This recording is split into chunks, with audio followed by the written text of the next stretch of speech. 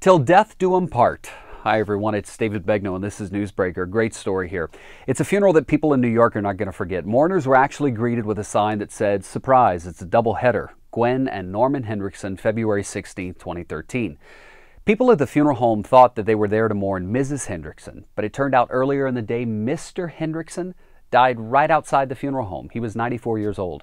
According to the Glens Falls Post Star, paramedics started CPR on Mr. Hendrickson as one of his sons in law raced across the small town to grab a do not resuscitate order from his home. You see, Norman didn't want any advanced life support, so in keeping with his wishes, paramedics stopped CPR. And Norman's body was taken right into the funeral home where his wife was and placed right beside her.